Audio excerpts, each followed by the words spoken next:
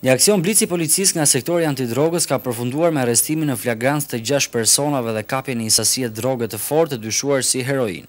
Burimet paraprake kanë bërë të ditur se operacioni i rrufeshëm i policisë është kryer në një dyqan tregtimi servisi të celularëve pranë stacionit të furgonave të Korçës.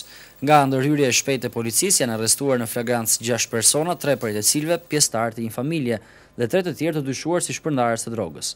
Nga të dhënat e para mësohet se policia ka sekuestruar dhe një sasi prej të paktën pesëqind gramë lëndë narkotike dyshuar si heroinë. Mendohet se dyqani i celularëve funksiononte prej kohësh si bazë e shpërndarjes së drogës.